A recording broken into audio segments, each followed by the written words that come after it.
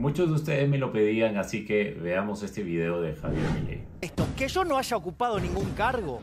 ¿sí? Debería ser más eso no quiere decir, eso no quiere decir prudente. y no habilita que ustedes hayan hecho las cosas bien. Ustedes las hicieron espantosamente mal. ¿Y sabés lo que te condena? Los datos. Que vos, como todo peronista, no los podés soportar porque te juegan en contra. Ustedes viven Vos sos espalda los datos. Claro, descalificame. Soy todo lo gorila que quieras. ¿Sabés qué?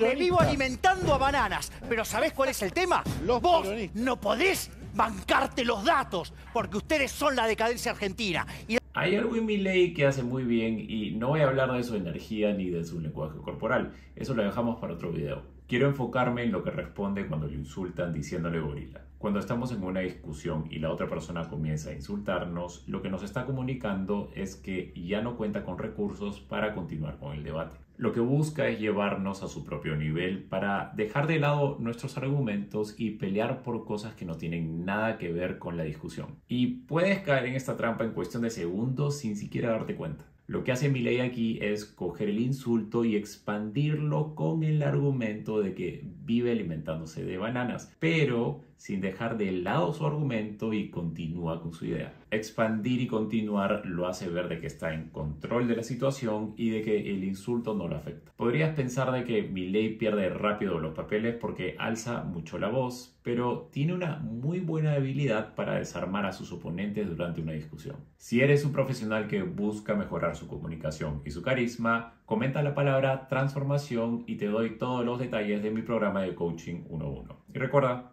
eres increíble.